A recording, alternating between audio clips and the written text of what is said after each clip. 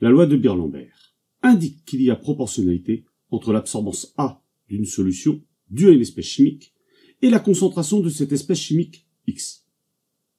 Cela se traduit par la formule A est égale à la constante de Beer-Lambert fois la concentration en cette espèce X.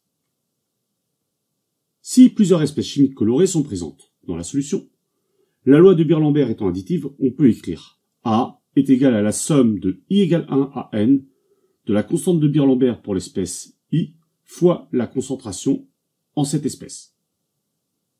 On applique cela à la situation décrite par l'énoncé. A est donc égal à la constante de Beer-Lambert 1 fois la concentration en Cr3+, plus la constante de Beer-Lambert 2 fois la concentration en EDTA Cr3+. Or, les ions chrome Cr3+, initialement introduits dans le milieu réactionnel, ont soit réagi avec le DTA pour former Cr3 EDTA3+, soit n'ont pas réagi et sont toujours présents sous forme ionique. On peut donc écrire que la concentration totale en chrome, C est égale à la concentration Cr3+, plus EDTA Cr3+, soit EDTA Cr3+, est égal à C, moins la concentration Cr3+. On a passé la concentration Cr3+, de l'autre côté. En remplaçant EDTA Cr3+, dans l'équation de l'absorbance, par son expression, trouvée ci-dessus, on a A est égal à la constante de Beer-Lambert 1 fois la concentration Cr3+, plus la constante de Beer-Lambert 2 fois C moins la concentration Cr3+. Donc, ce qu'on a trouvé ici. D'après la réponse à la question précédente, on a bien l'expression ci-dessous.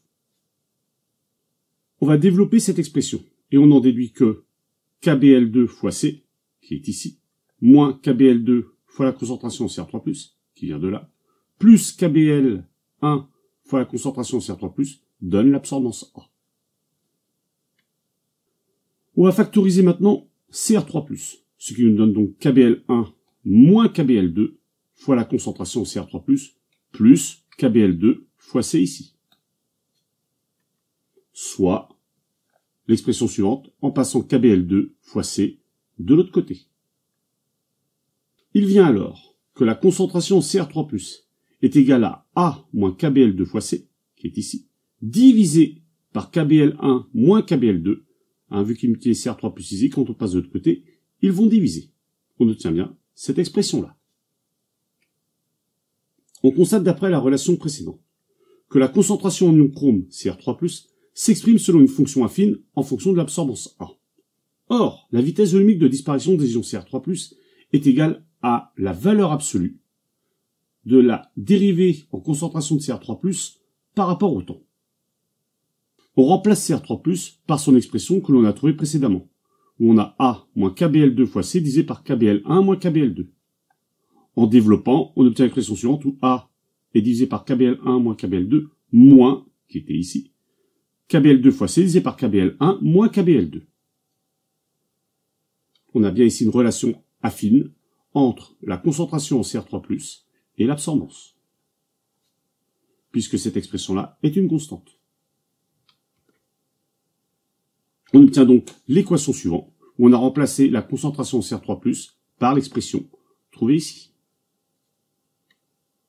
On va développer cette expression, ce qui nous donne 1 divisé par KBL1 moins KBL2 fois la valeur absolue de la dérivée de A par rapport au temps. Donc cette expression en magenta. Et on va dériver cet ensemble-là, moins KBL2 fois C, divisé par KBL1 moins KBL2, par le temps. Or, cette expression en jaune est une constante. Et la dérivée d'une constante vaut 0.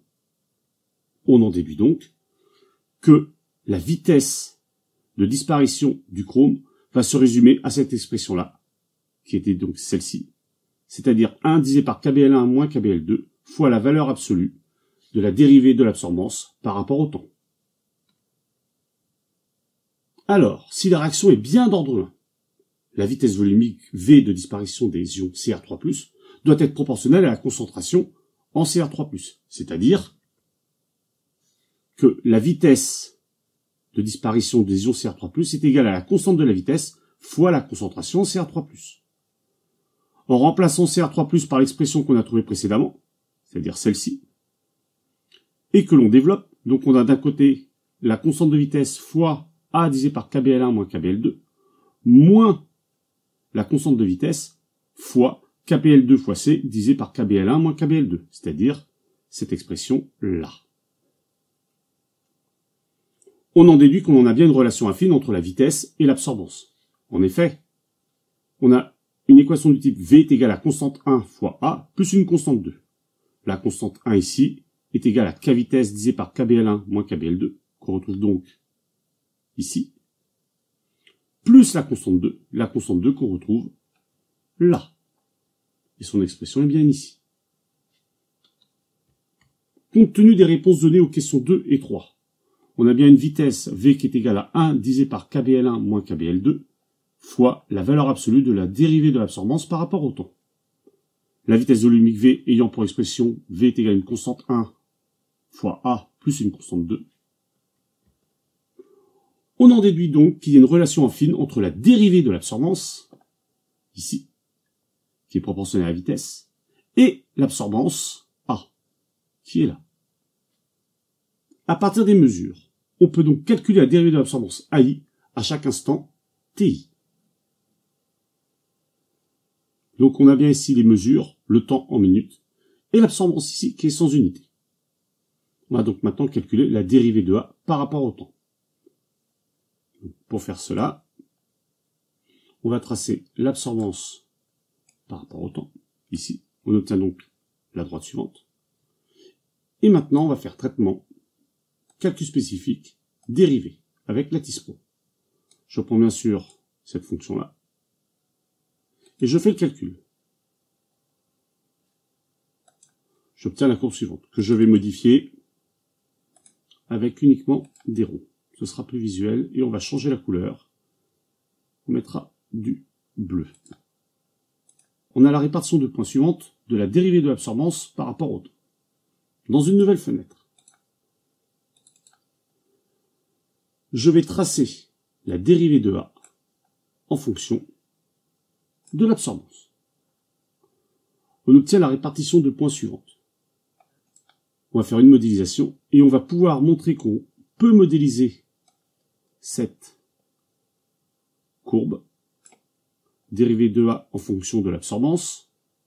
On choisit un modèle et on va prendre le modèle affine. Je fais le calcul et on voit qu'on a une droite qui passe par à peu près tous les points, ou en tout cas à proximité. Il apparaît donc que la dérivée temporelle de l'absorbance et l'absorbance sont bien liées par une relation affine, hein, dont l'équation est écrite ici. On peut donc valider l'ordre 1 pour la réaction chimique entre le chrome Cr3+, et le DTA.